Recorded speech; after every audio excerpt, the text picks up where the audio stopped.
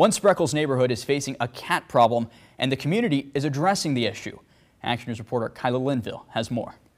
Cats have been a, a common part of the community.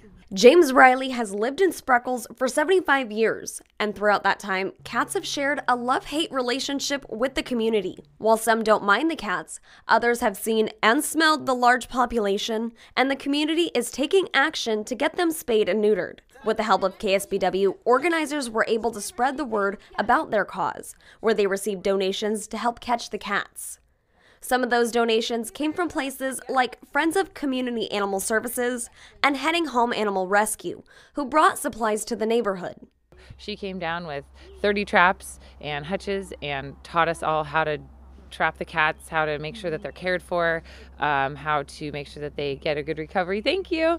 Um, and how to transport them, just everything. So, uh, this um, uh, neutering spay thing we're doing this weekend has been a good thing. Uh, I think we've caught in the general area of here 17 that have not been neutered.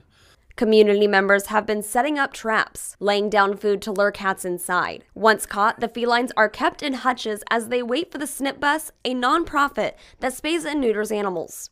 In the hutch, they have a little, um, like a little safe box that they can go into. Uh, there's a litter box, there's food, there's water, and then they're all covered and in kind of a darker place so the cats can um, not get too freaked out. And after the cats are neutered, they plan to release them back into the neighborhood. Reporting in Spreckels, Kyla Linville, KSBW Action News 8. Organizers plan to get the cats ready to be taken to the snip bus tomorrow morning.